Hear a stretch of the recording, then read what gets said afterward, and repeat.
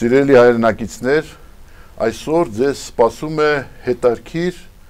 հետ շատ հետարքիր բացահայտումներ են ձեզ այսօր սպասելու եւ դուք ուշադիր կանված լսեք եւ կտեսնեք, կհասկանաք, թե ինչի մասին ենք մենք այսօր խոսելու եւ խոսելու ենք մի շատ հետարքիր անձնավորության հետ, ով ժամանել է Լոնդոնից, գտնվում է հայրենիքում, մենք զրուցելու ենք այսօր Երևանի վիճակի մասին, Երևանի Երևանում թամանյանական ժառանգության պահպանության մասին եւ այդ պահպանության հետ կապված խնդիրների մասին Ալեքսանդր Թամանյանի Թորան նրա զավակ որդի Յուլի Թամանյանի որդու Գագիկ Թամանյանի հետ ով մշտապես բնակվում է Լոնդոնում, մշտապես բնակվելով Լոնդոնում մշտական իր կապը հայրենիքի հետ պահպանում է, տարեկան մի քանի անգամ աշխատում է լինել Երևանում, լինում է Երևանում, Երևանը ձգում է նրան, չնայած Լոնդոնում ինք ուրեմն Գագիկ Թամանյանը գիտնական է, այնտեղ աշխատում է, բնակվում է, բայց գտնում է ժամանակ բարբերաբար այցելելու մեր մայրաքաղաքը եւ շատ սրտացավ է թամանյանական ժառանգության պահպանության հարցում։ Ես ողջունում եմ Գագիկ Թամանյանին մեր ստուդիայում։ Շնորհակալ եմ, որ նա իր համաձայնությունը տվեց մասնակցելու իմ Կարմիր գծեր հեղինակային հաղորդաշարին այսօր մենք խոսելու ենք Երևանի մասին, մենք խոսելու ենք թամանյանական ժառանգության պահպանության խնդիրների մասին եւ մինչև մեր զրույցին անցնելը ես օպերատորին խնդրում եմ, որբիզի օպերատորին խնդրում եմ, որբիզի ցուցադրի մի նկարահանումներ, այն նկարահանումները, որոնք արել է իմ հաղորդաշարի աշխատանքային խումբը, այս կարմիր գծեր հաղորդաշարի աշխատանքային խումբը, սա Երևանի շենքերից մեկն է, այդ շենքերի շքամուտքն է, այդ շենքի շքամուտքն է, շենք, որը կառուցել է, որի ճարտարապետն է Գևորգ Թամանյանը, Գևորգ Թամանյանը Ալեքսանդր Թամանյանի որդին նույնպես շատ նշանավոր ճարտարապետ եւ տեսեք այս շենքը հայտնի մոսկովյան 33-31 այդ շենքերի շարքում է մոսկովյան 31A շենքն է, որտեղ տեղակայվում էր խորթային տարիներին հայ հիդրոնախագիծ հայտնի ինստիտուտը, գիտահետազոտական ինստիտուտը, որը միշտ եղել է այս շենքում եւ որը կարևոր պետական ծրագրեր էր իրականացնում։ Այդ տեսեք, հիմա ցուցադրվում է շենքի վիճակը այսօր եւ այսպես է 10 տարի շարունակ, վերջի 10 տարի, այսինքն այդ այդ հայ հիդրոնախագիծ ինստիտուտի սեփականաշնորհումից հետո շենքը հայտնվել է այս վիճակում։ Այն բանից հետո, երբ հայ հիդրոնախագիծ ինստիտուտը սեփականաշնորհվեց, ինստիտուտը սեփականաշնորհվեց, կարևորագույն ինստիտուտ, դուք պատկերացնում եք, որ սեփականաշնորեն համարսարան, սեփականաշնորեն ակադեմիան գիտությունների, այսինքն մեզանում սեփականաշնորհվեց մի ինստիտուտ, որը 70 տարվա պատմություն ունենալով կարևորագույն ռազմավարական նշանակություն ունեց ուներ եւ լուսահոգի Անդրանիկ Մարկարյանը հրաժարվում էր մտցնել այդ ինստիտուտը սեփականաշնորհման ենթակա մասնավորեցման ենթակա օբյեկտների ցանկ հաշվի առնելով դրա նշանակությունը, նրա դերը, նրա ռազմավարական նշանակությունը, որտեղ հիդրոտեխնիկայի զարգացումը, հիդրոէներգետիկայի զարգացումը, Հայաստանում ռազմավարական ուղղություն է դիտվել դեռ խորթային տարիներից եւ այստեղ է որ այդ շենքը այդ այդ ինստիտուտը տեղակայվում էր հենց այն շենքում, որի ճարտարապետն էր Գևորգ Թամանյանը եւ որը կառուցվել է Թամանյանական ոգով, Թամանյանական ոճով նրա որդու կողմից բայց ահավասիկ այդ շենքը Անդրանիկ Մարկարյանի տարօրինակ մահվանից հետո առեղծվածային մահից հետո որի պատճառները դեռ պետք է բարձվեն այդ շենքը մծվեց սեփականաշնորհման ենթակա շենքերի օբյեկտների, այսինքն ինստիտուտը մծվեց, ինքը ինստիտուտը հայ հիդրոնախագից մծվեց սեփականաշնորհման ենթակա օբյեկտների ցանկ Սերժ Սարգսյանը դա արեց իր վարչապետության օրոք իր առաջի քայլն էր, որ այդ ինստիտուտը մծրեց սեփականաշնորհման ենթակա օբյեկտների ցանկ, ինստիտուտը սեփականաշնորհվեց, սեփականաշնորհվեց մի բիզնեսմենի, որին նշանակել էր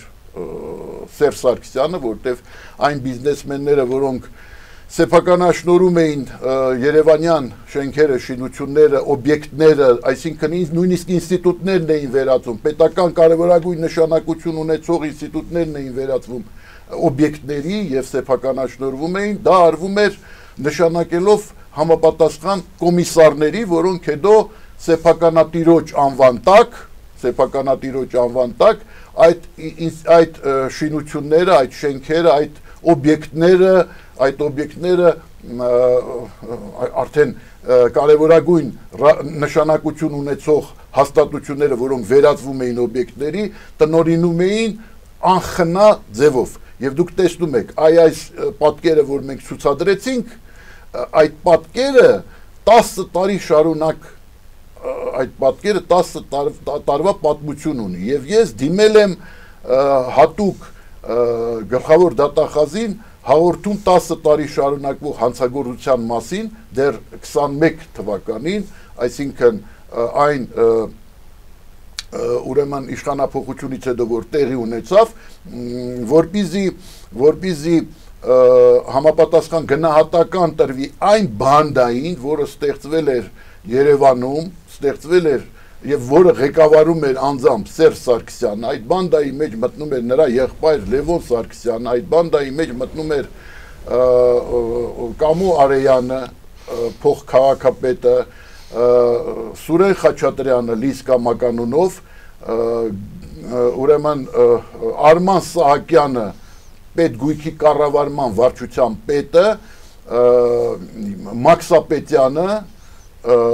որը նույնպես հայտնի եւ այսօր փախուստի մեջ է եւ այդ բանդան ինչ էր անում զբաղված էր պետական նշանակության հաստատությունների մասնավորեցման գործով այդ մասնավորությունից հետո յուրացվում էր այդ պետական հաստատությունների պետական հաստատությունների տարածքը եւ դրանից հետո դրանից հետո այդ տարածքում իրավիճակ այսպիսի իրավիճակ էր ստեղծվում, այսինքն այդ տարածքը ավերում էին հատուկ նպատակա դրված ավերում էին, որպիսի հետո հայտարարեն այդ շենքերը, այդ շինությունները վթարային իրավիճակում, այսինքն իրանք հենց այդ վթարային իրավիճակը ստեղծում էին, հետո պատճառաբանելով, որ վթարային իրավիճակում ա շենքը ուրեմն ցույցտվություն էին ստանում, որպեսզի այդ շենքը քանդեն եւ եւ այդ շենքի տեղում կառուցեն 25 հարգանի ենթադրենք ուրեմն էլիտար, այսպես ասած, բետոնից եւ ապակուց շենք, որը մեծ գերշահույթներ կբերի կբերի գեր շահույթներ եւ այդ բանդան զբաղված էր այդ գործով եւ այդ բանդան այսօր էլ վնասազերծված չի ես եւս մի նամակ եմ գրել ուրեմն գլխավոր դատախազին նոր հաղորդում 12 թվականից շարունակվող հանցագործության մասին, որին չի հաջողվում վերջ դնել Սերժ Սարգսյանի եւ նրա եղբայր Լովիկ Սարգսյանի Լիսկա Մականունով հայտնի Սուրեն Խաչատրյանի ՀՀ պետգույքի կառավարման վարչության նախկին պետ Արման Սահակյանի Երևանի նախկին փոխ քաղաքապետից ներկայումս քաղաքապետի խորհրդական Կամո Արեյանի կողմից ստեղծված եւ երկար տարիներ Երևանցիների ունեզրկումներով զբաղվող կազմակերպված հանցախմբի դիմադրության պատճառով։ Այսինքն սա ուրեմն եւս մեկ նամակ եմ գրել եւ երրորդն էլ եմ գրել ուրեմն այս երեք նամակները վերցրել է իր այսպես ասած վերահսկողության տակ գլխավոր դատախազ Արտուր Դավթյանը, բայց ինչ պետք է աներ Արտուր Դավթյանը, եթե հաշվի առնել այն, որ Արտուր Դավթյանը Սերժ Սարգսյանի բաժանաղն էր, այսինքն նրա կնոջ դվայորնի քրոջ ամուսինը նրա կնոջ դվայորնի քրոջ ամուսինն է Արտուր Դավթյանը եւ բնականաբար այս ուրեմն նամակները այս գրությունները որտեղ ես առաջարկում էի որպիսի այդ շենքերը վերցվի պետական վերահսկողության տակ, որտեղ Սերժ Սարգսյանը 2004 թվականին այս շենքերը, որոնք գտնվում էին եւ այս շենքերը 2004 թվականից չէ, կներեք 2012 թվականին այս շենքերը, որոնք գտնվում էին շենքերի խորթային ժամանակաշրջանում կառուցված պատմական հուշարձանների ցանկում խորթային տարիներին այդպիսի ցանկ կար, այդպիսի ուրեմն ցանկ գոյություն ուներ, որտեղ ընդգրկված էին այն շենքերը, որոնք ունեն պատմական արժեք եւ որոնք պաշտպանվում էին պետության կողմից։ Այս սեփականաշնորմանը զուգահեռ այս վայրակ սեփականաշնորմանը զուգահեռ երբ որ օլիգարխները դարձան այդ շենքերի տերեր, այդ շենքում օրինակ բուն դրեց ուրեմն բանը Գագիկ Ծառուկյանի խնամի սերվիզի անդոն այնտեղ ուրեմն բնակարան եւ դրանք բոլորը առաջի հերթին հենց որ գնում էին այդ տարածքները, բնակարանները, առաջի հերթին պերֆերատորները բերում էին եւ սկսում էին հիմնական պատերը քանդել այդ շենքի Մոսկովյան 31-33, ինչպես եւ մյուս շենքերի նկուղները բոլորը ավերել են, քանդել են, սեյսմակայունությունը նվազել է եւ այդ շենքերի բակերում այնպիսի իրավիճակ են ստեղծել բակերում իսկ բակը դա շենքի օրգանական շարունակությունն է որ ոչ մի որ երկրաշարժի դեպքում փրկարարները չեն կարող շենքին մոտենալ խնդրում եմ ցույց տվեք օրինակ մոսկովիա 33 31 Գևորգ Թամանյանի կառուցած շենքի բակը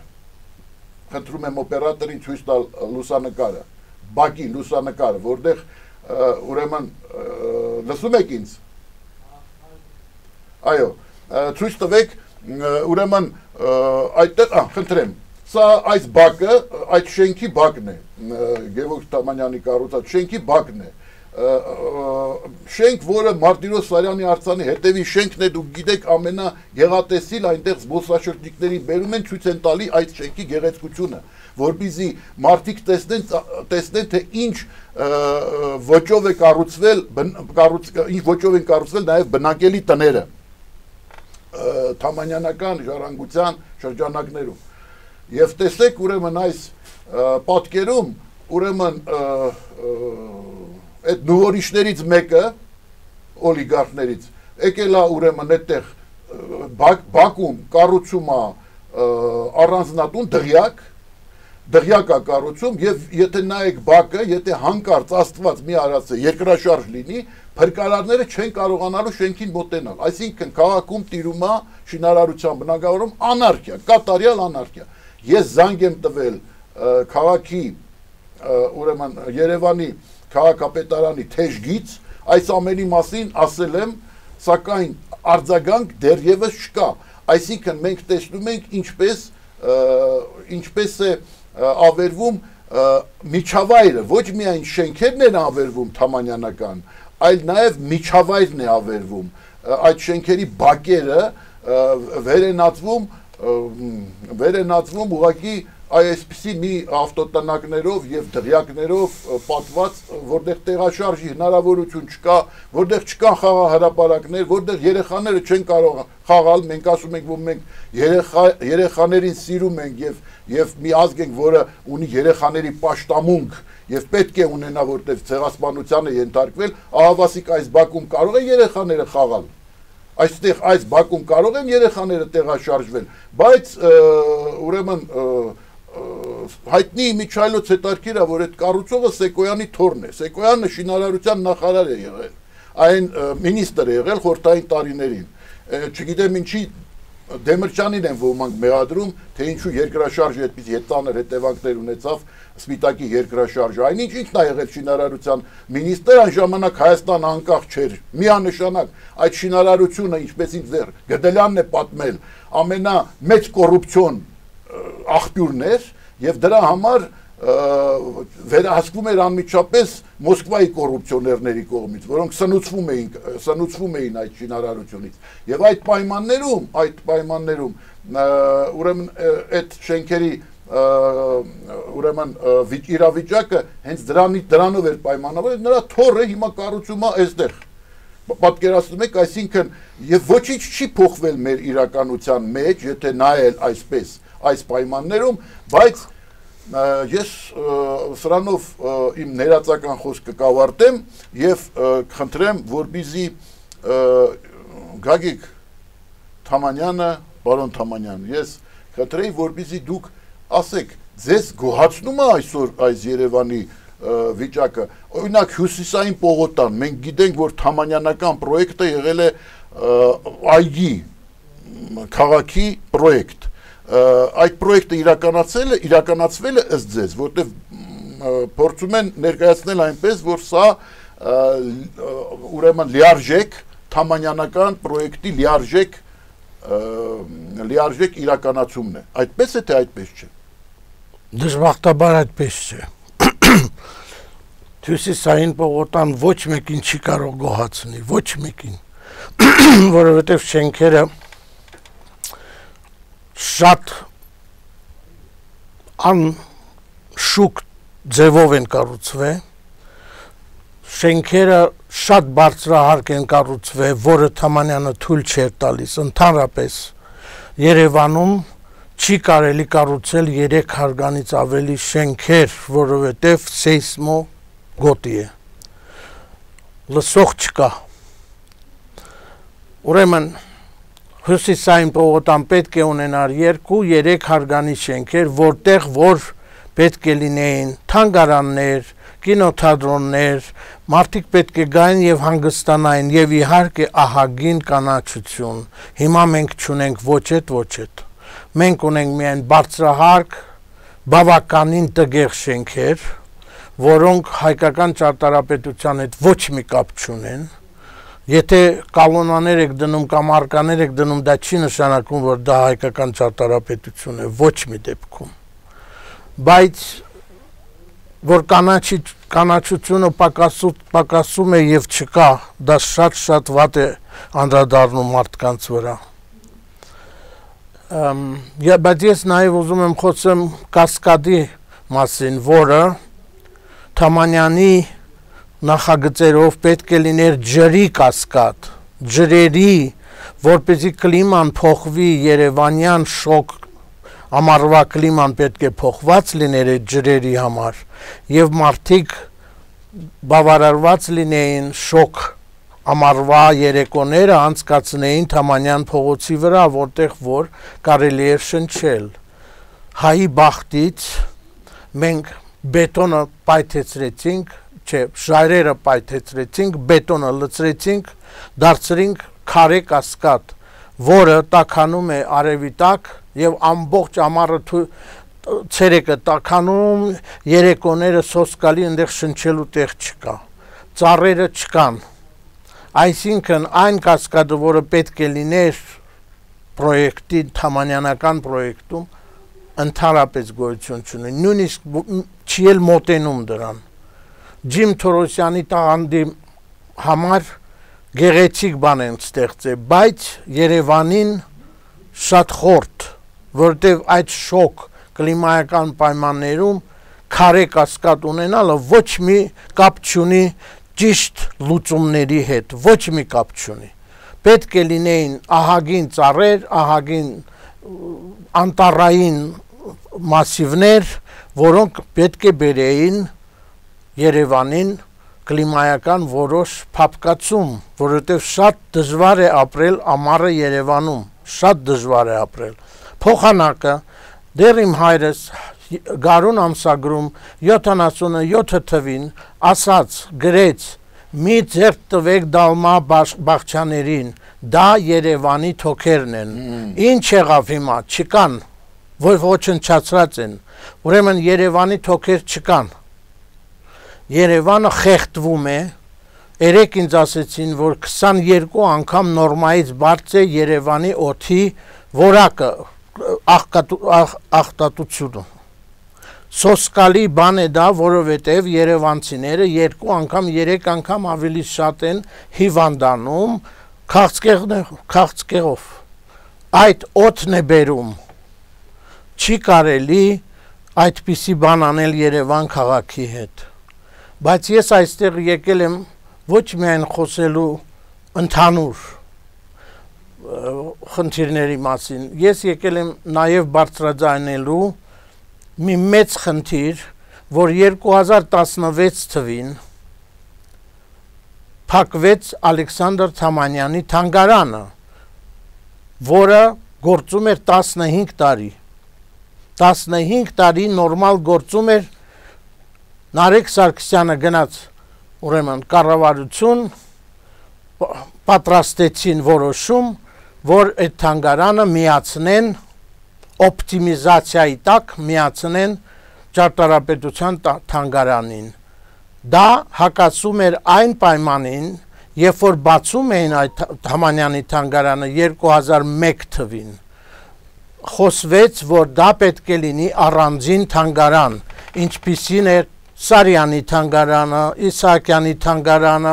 Խաչատուրյանի թանգարանը եւ բոլոր ուրիշ թանգարանները։ Հիմա, երբ որ օպտիմիզացիա եք հայտարարում եւ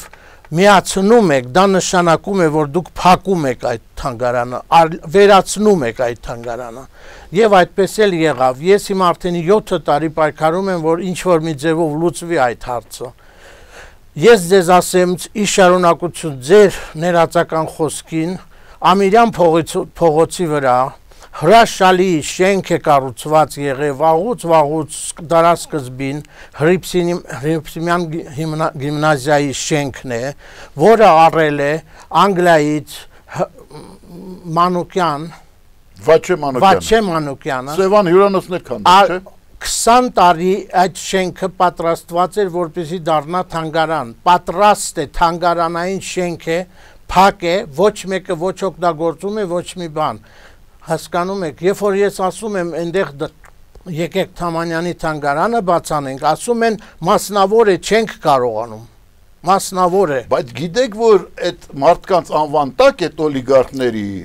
Սենիկ Ջուլակյան, լինի դա Բաչե Մանուկյան, մյուսը, մյուսը Գագիկ Բեգլարյանի թևի տակ գործող դրանց անվան տակ իրանք էին գնում Այսինքն իրանք գնում էին այդ բանդան, որի որի այդ բանդան, որը ստեղծվել էր, այդ բանդան Սերժ Սարգսյան, Լևոն Սարգսյան դրա եղբայր նա էր անմիջապես այդ գործի վրա դրված։ Ուրեմն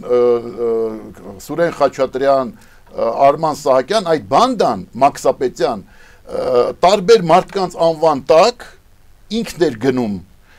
այսօր 100 100-ից ավել բնակարաններ կան այդ քաղաքի կենտրոնում, որոնք որոնց սեփականատերերը չգիտեն, որ իրենք այդ բնակարանների սեփականատերներն են։ Ուրեմն դրանք սեփականացվել են իրենց Չորնի Գագոյի կողմից, Չորնի Գագո եւ այդպես այդ վիճակում են։ Եթե նայեք հենց օպերային հարող, օպերայի տարածքին հարող այն տարածքից դիմացը, երբ որ գնում ես դեպի Հյուսիսային պողոտա, Թամանյան փողոցով չհասած Հյուսիսային պողոտա, այդ աչի վրա գտնվող շենքերը, որոնք ուրեմն այդ խորթային տարիներին կառուցված թամանյանական ոճով շինություններ են, դա դրանք բոլորը այսպես խավարի մեջ անտերության մեջ ինչու որովհետև դրանք ձևակերպված են մարդկանց վրա, որոնք չգիտեն, բայց իրականում տերերը այդ բանդան էր տերը։ Դիրություն անում էր այդ բանդան, այսինքն Երևանի կենտրոնը ենթարկվել է այդպիսի ես կասեի հոշոտման, հոշոտման։ Այսինքն խոսքը գնում է սուբ էթնո ցեղասպանության մասին, սուբ էթնո գենոցիդ։ Եթե մենք ասենք ազգը բաղկացած է սուբյեկտներից, ուրեմն սուբեթնոսներից, ազգը բաղկացած է սուբետնոսներից եւ երբ որ Երևանյան սուբետնոսը ենթարկվել է փաստորեն ցեղասպանության, որտեղ նույն հյուսիսային պողոտան կառուցվել է բնիկ Երևանցիների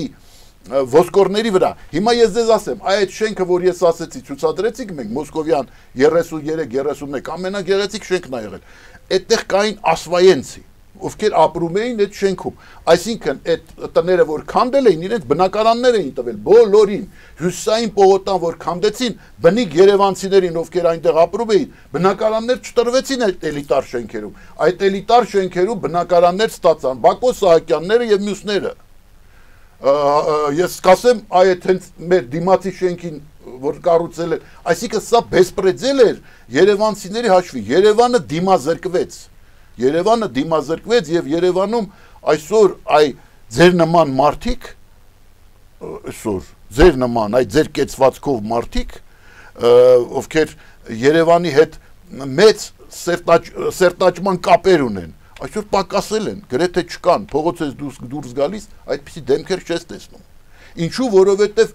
մեծ ավերածություն տեղի ունեցավ այն Երևանում այսինքն քանդեցին մարդկանց տները այդ հարկադիր Միհրան Պողոսյանի գլխավորությամբ, որ հիմա փախուստի մեջ է գտնվում է Մոսկվայում, հարկադիրի պետ, նրա ուրեմն դրբի տակ այդ մարդկանց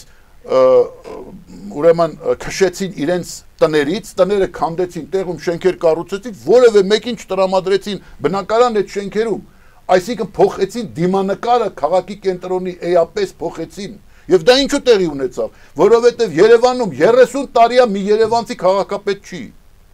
30 ուրեմն գավառներից մարդիկ ովքեր Երևանի համն հոտը չգիտեն։ Եթե հիմա որևէ մեկը որոշի գյուղապետ ընտրի մի որևէ Երևանցուն, այդ գյուղի բնակիչները կասեն, չէ, մեր տեղացին թող լինի գյուղապետ, որը ճանաչում է այդ գյուղի Երևան Զաքարյանը պետք է լիներ Կիրովաբացի։ Եվ ես կներեք, բայց իսկապես սա ցավ է, գիտեք, դուք որ ասեցիք թանգարանի մասին, որ թանգարանը վերացրել են։ Հասկանալի է, եթե շենքերը թամանյանական հանել են հանել են պետական հոգացության ենթակա շինությունների ցանկից խորթային տարիներին կառուցված եւ հուժարձան հուժարձանի կարգավիճակ ունեցող շինությունների ցանկից այդ ցանկը ոչնչացրել են, պետք է դու էլ ոչնչացրեին թանգարանը Թամանյանի։ Ինչու, որովհետև այդ թանգարանը եթե լիներ, բնականաբար թույլ չէր տա, անընդհատ կա, կա հազանգեր, կասեր, որ այդ շենքերը դուք մատնանշեցիք Ամիրանի վրա եւ այդպես շատ շինություններ ակադեմիայի հին շենքը որը քանդեցին վայրակ ձևով Սայաթ Նովայի եւ ուրեմն Աբովյանի խաչմերուկում գտնվող ակադեմիայի հին շենքը լեզվի ինստիտուտներ այնտեղ, տնտեսագիտության ինստիտուտներ այնտեղ քանդեցին, ավերեցին, վերացրեցին եւ սա կարելի ասել էթնո գենոցիդ էր։ Երևանի կենտրոնում սուբ էթնո գենոցիդ, սուբ էթնո գենոցիդ տեղի ունեցավ։ Ես խնդրեի նաև դուք ասեիք, այ հյուսային պողոտան այդպեսի պետք է լիներ Թամանյանի պրոյեկտով։ Ոչ, ոչ, իհարկե Ասեցի արդեն պետք է լիներ շատ ավելի կոկիկ, շատ ավելի քաղցր։ Եվ որքան գիտեմ լայն, չէ՞, երկու անգամ։ Չէ, լայնությունը կապ չունի, կապ ունի, որ կանաչ պետք է լինեն։ Ծառուղիներն էին նախատեսվում մշակույթի կենտրոններ այնտեղ պետք է լինեն, ոչ թե ապրելու շին, շինությունները, չէ, չպետք է լինեին դրանք այնտեղ։ Պետք է լինեին մշակույթի կենտրոններ, կինոթատրոններ, ցուցադրական ինչ որ սրահներ, այդպես պետք է լինեին, որ մարդիկ կարողանային գնային եւ ինչ որ նկարներ տեսնեին եւ ցուցահանդեսներին մասնակցեին, այդպես էր դա պետք։ Բայց հիմա դա չկա։ Թույլ տվեք ես անցնեմ բուն խնդրեմ իմ նպատակին, երբ որ ես եկա այստեղ։ Ես պետք է ասեմ, որ Թամանյանի մեծությունը ոչ մեկը չի հասկանում դեռ Հայաստանում չեն հասկանում։ Մոսկվայում հասկանում են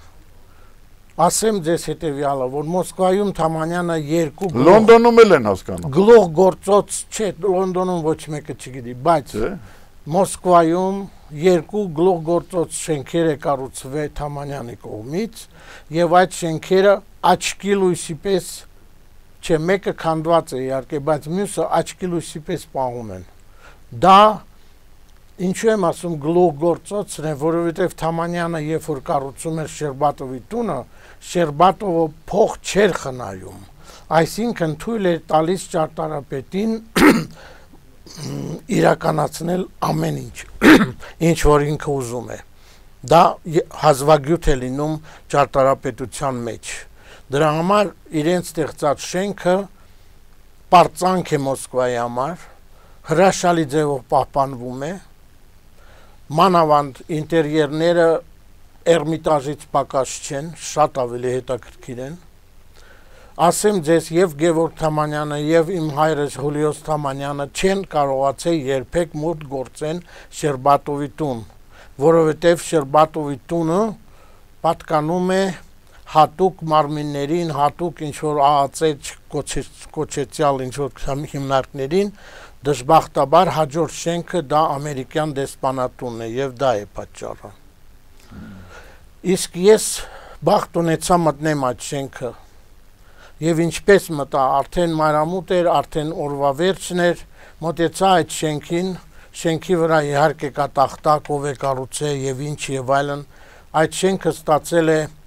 ոսկե մեդալ 14 թվին որպես լավագույն շենք Մոսկվայում եւ Թամանյանին շնորհվեց ակադեմիկոսի կոչումը հենց այդ շենքի համար։ Ուրեմն մոտեցա այդ շենքին, պահակը դուրս եկավ, բավականին այսպես անտաշ ձևով ասեց ինչ եք այստեղ անում, այստեղ հնարավոր չէ խոսել ման գալ եւ այլն։ Ես ասեցի դու գիտեք, որ ես թորն եմ այդ մարդուն, ով որ կառուցել է այդ շենքը։ Ամիջապես ամեն ինչը փոխվեց։ Ասած մենք այդ մարդուն շատ ենք հարգում եւ ինձ թույլ տվեց, որտեվ շենքը դադարք էր արդեն աշխատողներ գնացել են տուն, ինձ թույլ տվեց գնալ եւ նայել շենքի շենքի մեջ ինտերիերները, որոնք ոչ մի չեք կարող պատկերացնել ինչ ճոխություն եւ ինչ գեղեցկություն կա այդ շենքի մեջ ոչ մի տեղ այլևս չկա, որովհետև երբ որ Թամանյանը կառուցում էր իր, երկու գլուխ գործոցները Երևանում, արդեն փող չկա, ոչ մի բան չկա, էժանացնում ենք էս, էժանացնում ենք այն, այսինքն ճարտարապետը չեր եղե ազատ իրեն ստեղծագործական ոճը ներդնելու այդ կառույցի մեջ մի կերպ, մի կերպ, մի կերպ, մի կերպ, էլ չեմ ասում, որ Թամանյանին ահագին հալածել են։ Հալածել են նաև Երևանցիները, ասելով ինչի ես եկե, մենք հրաշալի մեր սոսկալի փոքրիկ տնակներում ապրում ենք, ինչի ես եկե քանդում ես մեզ համար լավ տներ ես սարքում, դա մեզ պետք չի։ Դու մեր տունն ես քանդում։ Դա ամեն օր էր լինում բայց նաև ճարտարապետները, ուրիշ ճարտարապետները, ջահել ճարտարապետները ամ, ամեն օր հալածում են Թամանյանին։ 12 տարի ընդամենը ապրեց Թամանյանը Երևանում եւ կառուցեց շատ-շատ շենքեր, շատ եւ կառուցեց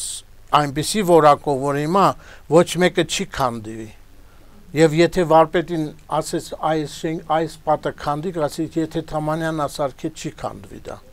Հնարավոր չի դա քանդել։ Որովհետեւ ուրիշ ձևի մեթոդ կա սարքելու ճիշտ։ Ինչևէ, ես տեսնում եմ մեր կասկադի վերևը կա Շալ Ազնավուրի թանգարանը։ Ահա Այո։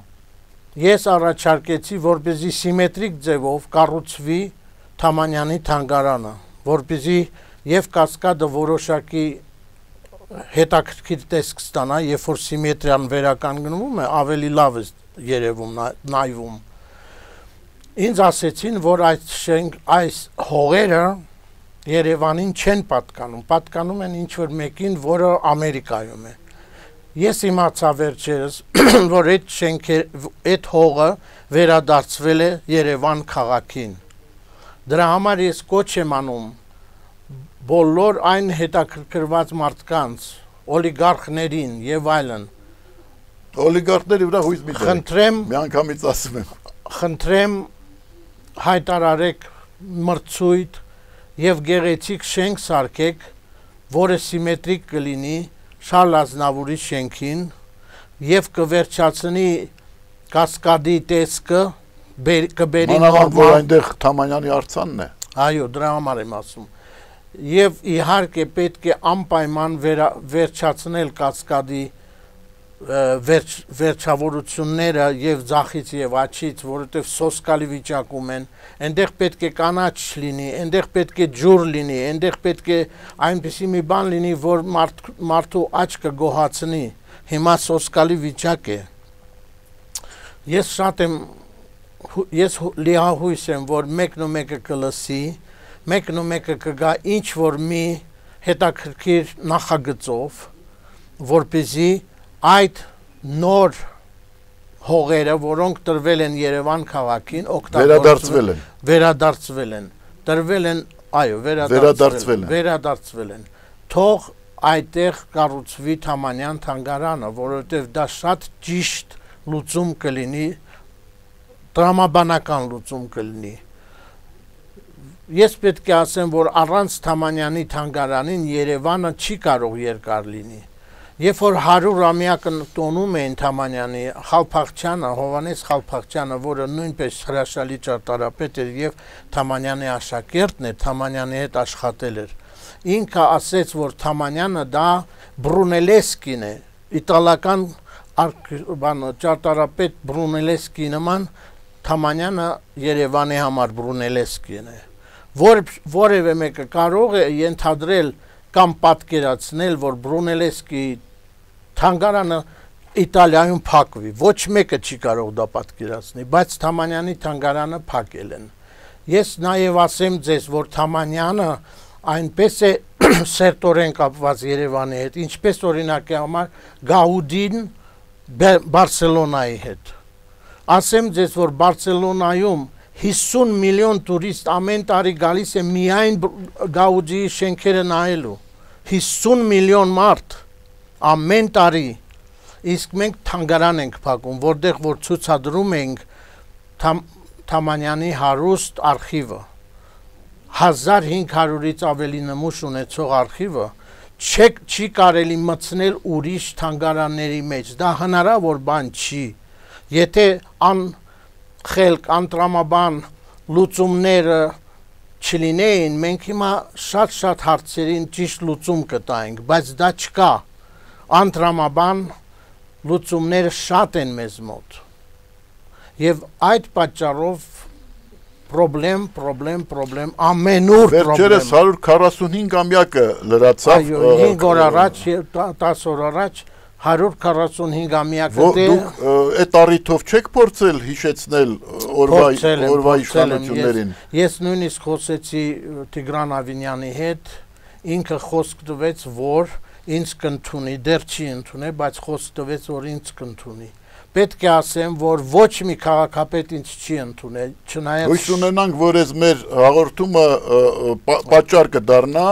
որովհետեւ ձեզ ընդունի։ Ես շատ-շատ անգամ դիմել եմ եւ Նիկոլ Փաշինյանին եմ դիմել 5 անգամ եւ նախ նախկին քաղաքապետերին եմ դիմել, ոչ մեկը չի ընդունում նորմալ։ Ուրեմն ոչ մեկը ոչ մի բան չի առաջարկում։ Պետք է ցավով ասեմ, որ մշակույթի նախարարությունում մեկ մշակ մեկ նախարարի տեղակալը ինձ ասեց, որ շատ ճիշտ է ճիշտ են կարե, որ Թամանյանի թանգարանը փակել ենք մշակույթի թանգար թանգարանով գծով փոխնախագան է շատ ճիշտ են կարի ասած մեզ համար դա ավելի հեշտ է որ կառավարելի լինի որովհետև 30 տարիների ընթացքում փոշիացնում էին թամանյանական ժառանգությունը ճարտարապետական տալով այդ այսպես կոչված օլիգարխներին փաստորեն ի ավերում ես խոսք չգտա դուրս եկա այդ մարդուց եւ այդպես միայն մեկ քաղաքապետ ինձ շատ լավ ընդունեց, դա Տարոն Մարկարյանն էր։ Հրաշալի ընդունեց, բայց խափեց։ Հիմա ո՞րն է լավ չընդունել եւ խափեր թե ընդունեց, ընդունեց քաղցր, շատ քաղցր ընդունեց ասեց ամեն ինչ կանեմ եւ թանգարանը կվերականգնեմ եւ խոստումներ տվեց խոստումները լիքն էին եւ շենքը կկառուցեմ ամեն ինչը դու միայն ինձ բեր կառավարության որոշումը իմ սեղանին դիր։ Ես ո՞նց պիտի կառավարության որոշումը քեզ Խոսեր Սարգսյանը դες կառավարության որոշում կտար։ Չէ, ես Իհարկե չէր տա։ որտեղ իր եղբայրը յուրացրել է այդ նույն շենքերը։ Եթե ինձ ոչ մեկը չեն ընդունում, ո՞նց պիտի ես կառավարության որոշում ընդունեմ։ Բերեմ իրեն սեղանին առաջ սեղ- սեղանի վրա դնեմ։ Դա հնարավոր բան չի։ Դրա համար ասում եմ խափեց փաստորեն։ Ստիպված էր խაფել ձեզ, որտեղ նա ընդամենը մարիոնետ էր։ Դրա համար ես լիահույս եմ, որ կարող է հիմա մի բան փոխվի, կարող է մի քիչ ավելի շատ մշակույթի վրա ավելի շատ ուշադրություն դարձնեն մեր կառավարությունները, որովհետև մշակույթը դա մի մեծ մասն է մեր կյանքի, որով հայը կարող է ապրծենալ։ Միակ միակ մի բանն է, որ մենք կարող ենք ապրծենալ, դա մեր մշակույթն է։ Ուրիշ բանով մենք չենք կարող ապրծենալ բայց մշակույթով կարող ենք բարձենալ։ Եվ նաև մեր մշակույթի վարպետներով կարող ենք բարձրանալ, նրանց մարդկային կերպարով նաև։ Հիմա տեսեք, Ես ուզում եմ մենք խոսենք նաև Թամանյանի մարդկային կերպարի մասին, որ նա ինչպես կարողացավ կրթություն ստանալով Ռուսաստանում եւ այն- այնտեղ աշխատելով վերադառնալ Հայաստան եւ ինչպես նա կարողացավ ներթափանցել մեր ճարտարապետական պատմության, մեր ճարտարապետական ժառանգության ժառանգությամբ տոգորվել եւ այդպիսի հայեցի հայեցի ը, նախագծեր նախագծեր շինություններ, որոնք այսօր մեր հպարտությունն են։ Թամանյանը սովորական ճարտարապետ չէր։ Սովոր այդպիսի ճարտարապետներ հազարամյակնով մեկ անգամ են ծնվում։ Նա միայն ճարտարապետ չէր, նա քաղաքաշինարար էր հրաշալի ձևի, որովհետև նման գենպլան հատակագից, որը ինքն է ստեղծել, որը դարձրեց Երևանը եվրոպական քաղաք, շատ հազվագյուտ բան է դա։ Եվ ինչ քաղաք պետք է լիներ։ Պետք է լիներ պարտես քաղաք։ Հիմա պարտես քաղաք չկա, որովհետև ծառեր չկան։ Իսկ Երևանում քաղաք դառավ։ Երևանում ծառ աճեցնելը շատ դժվար հարց է, որովհետև ջուր չկա, հողը վատն է եւ այլն եւ այլն։ Ուրեմն ավելի պետք է խնամքով վերաբեր- վերաբերվել ամեն ծառին։ Պետք է ճիշտ ծառերի ընտրանի որոնել, գտնել, բերել, տնգել, որպեսզի ճիշտ եւ արագ բուսնեն եւ մեր Երևանը մի քիչ լավացնի օդը իրեն։ Այսինքն ես նորից եմ կրկնում Թամանյանի մեծությունը ոչ մեկը չգիտի, ոչ մեկը չի ուսումնասիրել թե այդ մարդը ինչ է արել։ Իսկ նա մեր Լեո- Լեոնարդո դա Վինչի նման մարդ էր, նա միայն ճարտարապետ չէր։ Նա տեխնոլոգիաներ գիտեր, նա մի մեծ վարպետ էր գույնի, նա մի մեծ այ Շագալի նման նա մեծ վարպետ էր գույնի։ Նա գիտեր գույների գաղտնիքները։ Նա շատ գաղտնիքներ գիտեր, քարի գաղտնիքը գիտեր։ Եվ այլն։ Այսինքն այդպիսի մարդու հիշատակի նման վերաբերմունք ինչպիսին եղավ 2016-ը թվին ինձ թվում է որ դա անընդունելի է եւ հնարավոր չէ որ չվերականգնեն եւ չուղեն այդ սխալը չարաբաստիկ սխալը, որը արեցին 2016 թվին։ Ահա, հիմա տեսեք, ինչ բան է գենը։ Թամանյանի թորը, հա, Ալեքսանդր Թամանյանը, Կրծերը։ այո, Ալեքսանդր Թամանյանը մահապարտների ջոկատի ղեկավար ղեկավարությունն է ստանձնել Արցախյան գոյամարտում ժամանակ, շարժման ժամանակ ը, Լեոնիդ Ազգ- Ազգալդյանից հետո Այո։ ստանձնել է մահապարտների ջոկատի հրամանատարի տեսեք հայ Թամանյանի նրա իմիջայլոց ասեմ ձեր տատիկը հայտնի Սեր- Բենուա ընտանիքից է Այո։ ուրեմն եւ նրա ուրեմն Էդվարդսը Այո։ նա նա Թամանյանի կինն էր եւ Թամանյանի հետ կիսեց Թամանյանի բոլոր դժվարությունները, ը, որովհետեւ իսկապես դարձնել ը, յուղանման քաղաքը իսկապես լիարժեք մայրաքաղաք, լիարժեք մայրաքաղաք նախագծել այնպիսի գենպլան, որը մեծ հերանեկարներ էր բացում քաղաքի արչև, զարգացման արչև, դա իսկապես մեծ, ծանր, դժվար գործ է եւ ոչ միշտ է որ նրան ընթառաջել են, այլ ընդհակառակը դժվարություններ են եղել եւ ուրեմն Կամիլը Էդվարդսը, նրա կինը կիսել է անմրունչ այդ դժվարությունները ամուսնու հետ եւ ահա այդ անգլիացի կնոջ եւ մեծն Թամանյանի Թամանյանո Թամանյանից սերված թորը Ալեքսանդր Թամանյանը ազգային ազատագրական պայքարի ժամանակ իր կյանքը չի խնայել ստանձնելով մահապարտների ջոկատի ղեկավարի դիրքը ղեկավարի առաքելությունը այն բանից հետո երբ Լեոնիդ Ազգալդյանը զոհվեց սա է ձեր ընտանիքի պատմությունը եւ ցավալի է որ 16 չարափաստիկ թվականին երբ որ տեղի ունեցավ այդ քարորիա պատերազմը, որը նախաշեմն էր 44 օրյա պատերազմի Թամանյանի արցանը այն ժամանակ երբ պետք էր բարձրացնել ժողովրդի Թամանյանի թանգարանը այն ժամանակաշրջանում երբ պետք է բարձրացվել ժողովրդի ոգին վերացվեց վերացվեց, ես ասեմ, որ պատճառը ինձ համար པարզ է։ Պատճառը այն է, որ այդ թանգարանը կարող էր խոչընդոտեր, խոչընդոտեր այդ շինությունների զավթման եւ ավերման այդ արժեքավոր հուշարձանների, այդ գլուխգործոցների ավերման գործին, որով որին լծվել էին այն մարդիկ, ովքեր շինարարության մեջ տեսնում են միայն գերշահույթ ստանալու հնարավորություն։ Թամանյանը դա մեծություն է, Եվ այստեղ է որ ես ուզում եմ դուք ասեք նաև այն մասին, որտեղ մեր քաղաքագետներից ոմանք անվանում են նրանց, ովքեր Մոսկվաներում, Պետերբուրգներում կրթություն են ստացել եւ հետո կրթություն են ստացել արմիաշկաներ։ Այսինքն անլիարժեք հայեր։ Տեսեք Թամանյանի կերպարը, որ այնտեղ կրթություն ստանալուց հետո եկավ եւ այդպես ծառայեց իր ժողովրդին, հերքում է չէ այդ վերաբերմունքը այն մարդկանց նկատմամբ, ովքեր կրթվել են առաջատար հաստատություններում, մշակույթային, գիտական հաստատություններում Մոսկվայում, Սանկտ Պետերբուրգում։ Այդպես է, չէ։ Իհարկե։ Եվ այ այդ ոգին որը կար, չէ, այդ ստեղծագործական ոգին, որը փոխանցվեց երեխաներին, ժառանգներին, փոխանցվեց ձեզ, փոխանցվեց ձեզ։ Դրա համար մենք չենք կարողանում, չենք հնարավոր չի տարանջատել զավակների ստեղծագործությունները, Թամանյանի ստեղծագործություններից, օրգանական դրանից բխում են։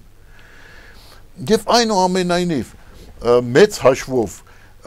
ինչպես է կոտրելու այս վերաբերմունքը։ Այ սեպտեմբերին քաղաքապետի ընտրություններ են քաղաքապետի ընտրություններ են անցած ընտրություններից առաջ քաղաքապետի 5 տարի առաջ խոստումներ տրվեցի որ օպերայի շրջակայքը կմաքրվի այդ այլանդակ սրճարաններից եւ նորից կվերադարձվեն այնտեղ ծառեր եւ կանաչ այդ խոստումը չի կատարվել այդ օպերան պաշարված է մնում այդ կաֆեների կողմից այնտեղ գետ մի ծառ չեն տնգել, որ մեծանա այս 5 տարվա ընթացքում, ասենք 5 տարի առաջ խոստացան, այս ծառը տնգեցին։ Բայց այդ սրճարանները եւ տեսեք լֆիկ Սամոն օլիգարխ այնտեղ ավելացնում է, բետոնապատում է, ամբողջ շրջակայքը բետոնապատված է։ Եվ իհարկե ռետորական հարց եմ տալիս, միթե այդպես էր պատկերացնում Մեծն Թամանյանը իր շեդևրի միջավայրը։ Ինչ անենք։ Ասեմ ձեզ, Գևորգ Թամանյանը Գիտիմենք Երևանցիներին։ Դուք խոսեցի Որտեր կանգնեն Թամանյանական ժառանգությանը։ Դուք խոսեցիք Գևորգ Թամանյանի մասին։ Գևորգ Թամանյանը շատ շատ բարձր մակարդակի ճարտարապետ է, շատ, բայց չտեսնված զուսպ մարդ էր միայն աշխատանք էր իրեն համար, կյանքը աշխատանք էր եւ ինքը շատ-շատ հրաշալի շենքերով ապարգևատրեց մեզ։ Ես երջանկություն ունեցել եմ ծնվել այդ շենքեր, այդ շենքերից ամենագեղեցիկներից մեկում։ Եվ իմ եղբայրը Ալեքսանդր Թամանյան կրծերը եւ ես մենք ահագին ժամանակներ երեկոները ճարտարապետները հավաքվում էին Գևորգ Թամանյանի տանը, որտեղ որ ես էի ես էի ապրում, իմ եղբայրս էր ապրում, եւ մենք լսում էինք իրենց քննադատությունները, ճարտարապետության մասին մտորումները եւ այլն եւ այլն մենք այդ քննադատություններից եւ ամեն այդ խոսակցություններից այնքան բաներ ենք հիմա իմանում ճարտարապետության մասին, ինչքան ոչ մի ճարտարապետ չի կարող իմանալ որովհետև մեծերը հավաքվում են եւ ճարտարապետության բարձր մակարդակի զրույցներ էին ունենում եւ իմ եղբայրս եւ ես չտեսնված հետաքրքիր փաստորեն դբրոց են գանցել ճարտարապետական դբրոց են գանցել եւ ես ձեզ ասեմ երբ որ 201 թվին բացեցին թանգարանը դա Ջիմ Թորոսյանի շնորհիվ էր ինքն էր վազվզում եւ ասում պետք է բացեք անպայման ամոթ է որ չկա Թամանյանի թանգարանը Յուրի Երվանդիչ Խոջամիրյանը եւ Ջիմ Թորոսյանը իրենց շնորհիվ բացվեց 2001 թվին եւ Թամանյան կրծերը նշանակվեց տնորեն։ Փող չկար, ոչ մի բան չկար։ 2001 թվական։ Այո, 2001 թվական։ Այսինքն 15 տարի այդ թանգարանը աշխատեց, հրաշալի ձևով աշխատեց։ Երբ որ 2005 թվին Թամանյան կրծերը մահացավ, իրեն տղան Հայկ Թամանյանը դարավ այդ թանգարանի տնորենը, որը 10 տարի չտեսնված նվիրվածությամբ աշխատեց այդ թանգարանը բարձացնի։ Փող էլի չկար։ Իրեն աշխատավարձը 100 դոլար էր ամեն ամիս բայց ոչ մեկը չի նայում աշխատավարձի։ Իսկ թանգարանը որտեղ էր տեղակայվում։ Երրորդ շենքը, կառավարության երրորդ շենքը։ Կառավարության երրորդ Այո։ Ուրեմն ես լինելով նաև երաժիշտ ես երբ որ ապրում էի Մելբուրն քաղաքում, Ավստրալիայում, ես հիմնեցի իմ սեփական երգչախումբը։ Այդ երգչախմբով ես համերգներ էի տալիս եւ ամբողջ հասույթը մենք ուղարկում ենք թանգարանը պահելու համար։ Այսինքն ես էլ նույնպես ինչ որ մի լումա ունեմ այդ թանգարանի բարձացման մեջ, կայացման մեջ։ Ամեն տարի մենք ահագին փող ենք հավաքում համերգներից։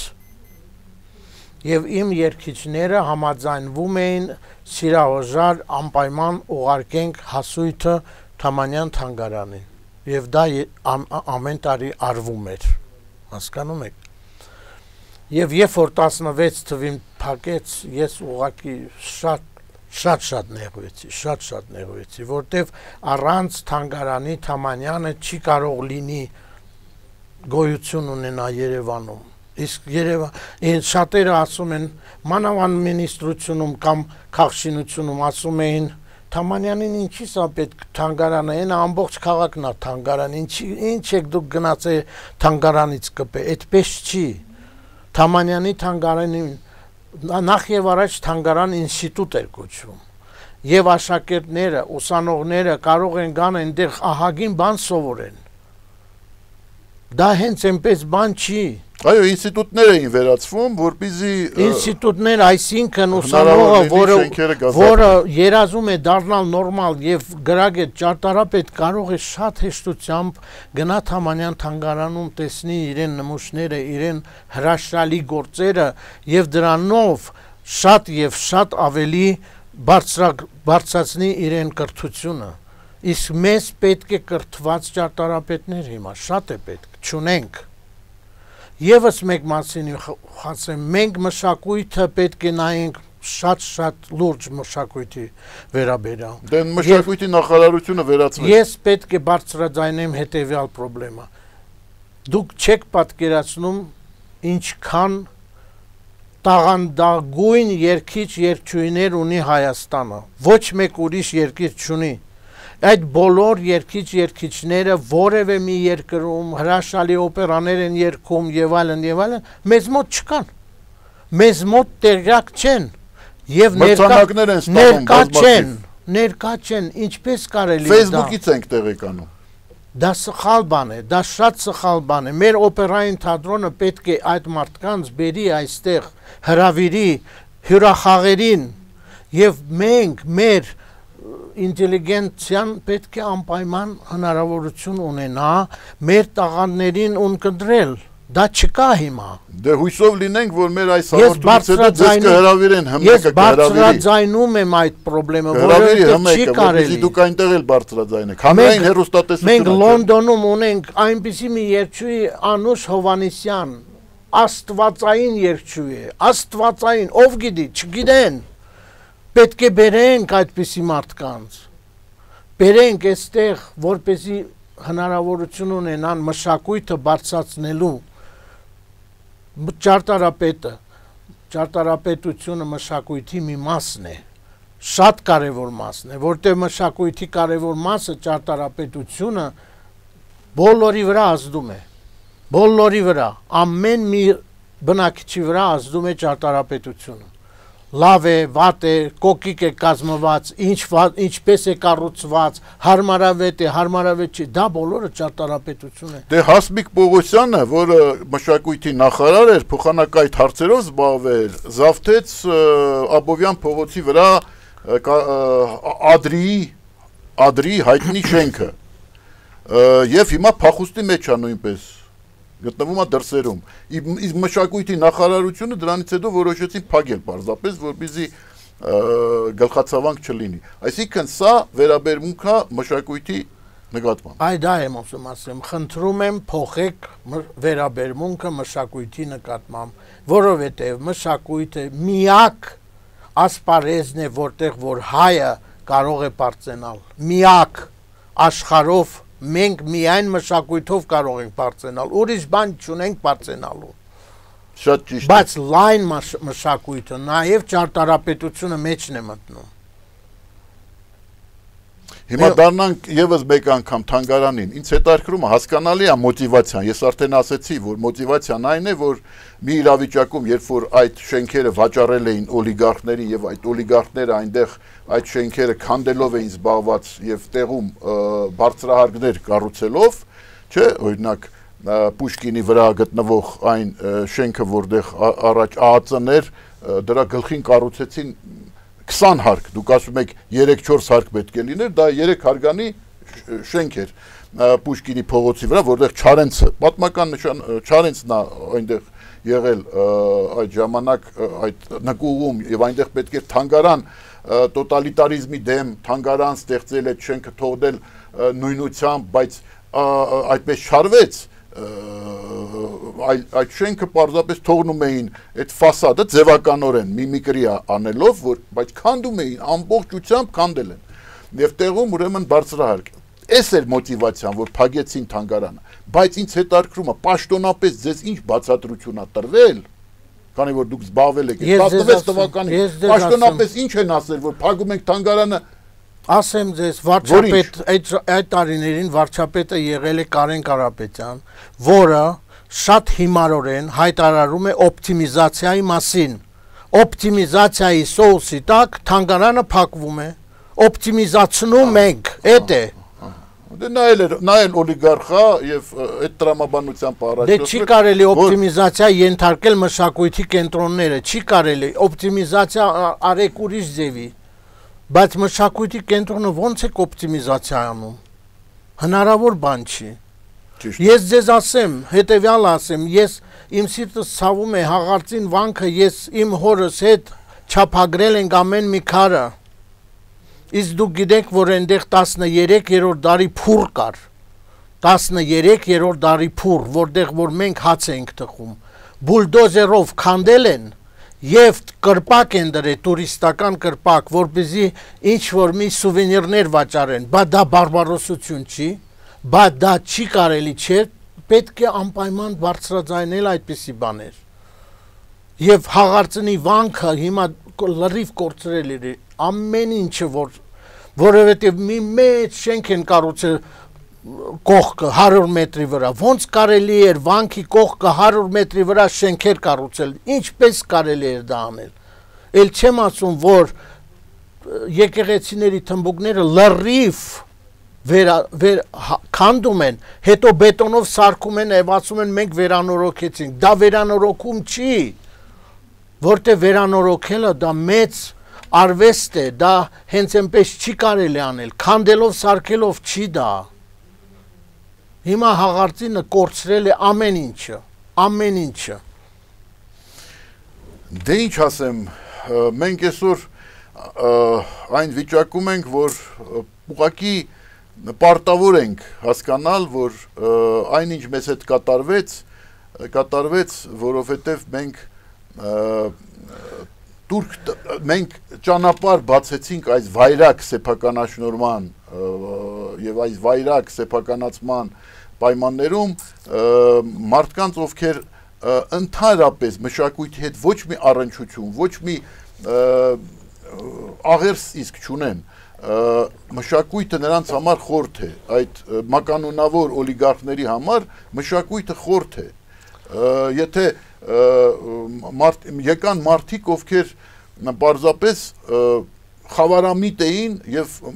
նույնիսկ մարդկային կերպարանք էլ չունեին եւ մեր ժողովուրդը դրանց դեմքով տեսավ այս տարիների ընթացքում բայց հիմա երբ որ մենք այնուամենայնիվ այսօր բարձրաձայնում ենք այս խնդիրները միթե սա չպետք է տրամադրի մեր ժողովրդին որբիզի մեր ժողովուրդը առաջիկա քաղաքապետի ընտրությունների քաղաքապետարանի ընտրությունների ժամանակ հենց այս մոտեցումներով պահանջատեր լինի այն մարդկանց նկատմամբ, ովքեր կձգտեն ղեկավարել քաղաքը։ Ի վերջո մենք այսօր կանգնած ենք մի իրավիճակի առջև, երբ որ մեր մշակույթային գործիչները գերադասում են գերադասում են չմնալ երկրում, գնում են արտասահման, մեր մասնագետները գնում են արտասահման, իսկ մեր երկրում այս իրավիճակը, որը դեռ շարունակվում դեռ ստեղծվել էր այս 30 տարիների ընթացքում, այս իրավիճակը պահպանվում է։ Ես ուզում եմ ձեզ շնորհակալություն հայտնել։ Կարելի է մի բան ասեմ։ Խնդրեմ, ասեք։ Շատ կարևոր բան եմ ասում։ Ուրեմն քաղաքապետ տարանը ունի 1 թանգարան։ Եթե չստացվի կասկադի վրա թանգարանը, որը միշտ էլ կարող են ասել դրամ չունենք, փող չունենք, չի ստացվում, ինչ կլինի քաղաքապետարանին կից բացանեն Թամանյանի թանգարանը, որովհետև դա շատ տրամաբանական է, որ քաղաքապետարանին կից ունենանք Թամանյան թանգարանը եթե չստացվի ուրեմն կասկադի վրա թանգարան պայմանները այնտեղ բավարարում են դրա համար ես չգիտեմ պայմանները բայց եթե մեկն ու մեկը ցանկանա դա անել դա շատ եւ շատ մեկը դուսին չի խանգարում կարող են բացել այնտեղ տեղակայվի այնտեղ իսկ հետագայում կասկադում իրականացնել այդ կասկադում դժվար է որովհետեւ փողի հարց կա ֆինանսների հարց կա իսկ քաղաքապետարանը շատ շատ տրամաբանորեն սազում է, որ ունենա երկրորդ թանգարանը, ոչ միայն Երևան քաղաքի թանգարանը, այլև Ալեքսանդր Թամանյանի թանգարանը։ Հիմա արխիվը ընտանիքի մոտ է, չէ։ Այո, արխիվը ճիշտ հարց եք դնում, մենք 70 տարի թանգարանը կբացվի, դուք այդ արխիվը կհանձնեք թանգարանին։ Այս սա ճիշտ մոտեցում է, այսինքն դուք հիմա պահել եք աչքի լույսի նման, արխիվը կբացվի թանգարանը եւ կվերաբացվի կվերաբացվի վերաբացվի թանգարանը եւ դուք արխիվը կտրամադրեք թանգարանին նաեւ սա ճիշտ մոտեցում է ես լիահույս լինենք որ մեզ կհաջողվի նաեւ պետք է ասեմ մեկ ուրիշ բան կներեք շատ եմ վրթոված մեկ-մեկ լինում բայց երբ որ ես նամակներ եմ գրում մեկ-մեկ ինձ գրում են պատասխան որ ձեր ընտանիքի մեջ անհամաձայնություն կա դրա համար թանգարանը չենք բացանում ես հայտարարում եմ, որ ոչ մի անհամաձայնություն մեր ընտանիքում չկա։ Մենք պետք է պայքարենք միջև վերջ, միջև որ թանգարանը վերաբացվի։ Դե դա չինովնիկական խորամանկություն է, այո, պատճառաբանություն գտնել։ Սոսկալի մի այո, նենգություն է դա, նենգություն է։ Մենք բացատրություն Դրա համար ես առիթից մենք բացատրությունն է։ Այո Սիրելի հայրենակիցներ, ես ուզում եմ ձեր անունից նաև շնորհակալություն հայտնել Գագիկ Թամանյանին այս հետարքիր զրույցի համար եւ եւ նաև ասում եմ ես ուզում եմ ձեզ հայտնել, որ մտադիր եմ այս ամիսներին, առաջիկա ամիսներին, մինչև քաղաքապետի եւ քաղաքապետարանի ավականու նոր կազմի ընտրություն, որը տեղի է ունենալու սեպտեմբերին, անցկացնել այս կարգի քննարկումների շարք։ Սկիզբը դրեց պարոն Գագիկ Թամանյանը եւ այս Թամանյանական ոգով համառությամբ եւ նվիրվածությամբ մեր երկրին եւ մեր քաղաքին մենք պետք է քննարկենք այս հարցերը կարմիր գծեր իմ հերինակային ծրագրի ընթացքում կլինեն մասնագետներ եւ այս Երևանի իրավիճակը մենք պահելու ենք ուշադրության կենտրոնում քանի որ առաջիկայում ես կրկնում եմ արդեն այս աշնան տեղի են ունենալու այս աշնանը տեղի են ունենալու քաղաքապետի եւ քաղաքապետարանի նոր քաղաքապետարանի հավաքանու նոր կազմի ընտրություններ մենք պետք է այդ ընտրություններին պահանջատեր լինենք եւ իսկապես ընտրենք այն մարդկանց ովքեր հանձը կառնեն այո լուծել եւ Թամանյանի թանգարանի հարցը եւ Թամանյանական ժառանգության աչքի լույսի նման պահպանության բոլոր խնդիրները իս դրանք ավաղ շատ են եւ սպասում են իրենց շնորհակալ լուծողներին շնորհակալություն ուշադրության համար սրանով թույլ տվեք ավարտել